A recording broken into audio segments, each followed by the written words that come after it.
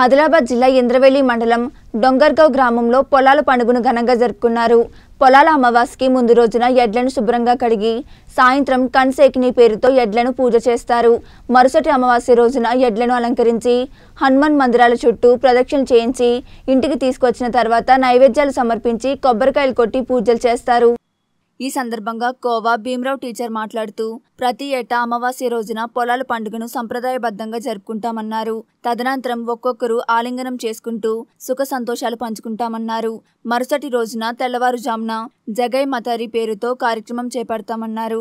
ఈ కార్యక్రమంలో పటేల్ దేవరి మహాజన్లతో పాటు గ్రామస్తులు పాల్గొన్నారు.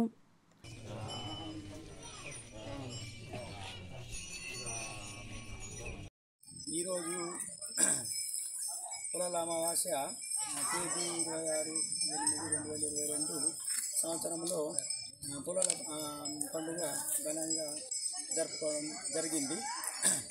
ప్రస్తుతానికి దీని యొక్క పొలాల పండుగ యొక్క ప్రత్యేకత. ఈరోజు అమావాస్య రోజున భగవంతుడు ఒక ఆవును దూడను జన్మని జన్మనిస్తే దాన్ని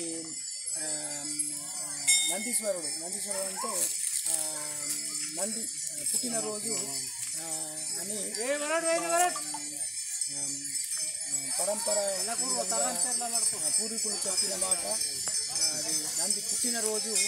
కాబట్టి ఈ బసవన్నలకు ఆ రోజు మహాదేవ మందిర్లో భగవంతుని దగ్గర ఐదు ప్రదర్శనలు చేసి నైవేద్యము సమర్పిస్తారు.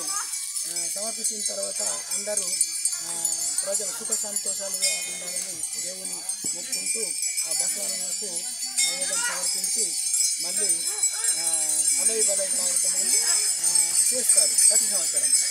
తర్వాత మరుసటి రోజున బడగని బడగ అంటే జాగే మాతరని ఆ, పులి మేరలో మన అమావాస్యకు ముందు ఎదురు గుర్రాలు పట్టేలు తీసుకొచ్చిన తర్వాత వీటితోటి ముల్లే ముల్లే ఆ, జాగే మాతర అనుకుంటా అంటే నా- నాలుగు ఐదు గంటల నుంచి షురు అవుతుంది జాగే మాతరి జాగే మాతరి మనకు రోగాలు రోస్తాలు ఏమి రాకుండా జాగే మాతరం కింద ఇక్కడ పులిమెరలో నైవేద్యం సమర్పించి అందరూ సహపంక్తి భోజనం చేసిన తర్వాత ఈ పొలాల పండుగ అనేది ముగిస్తారు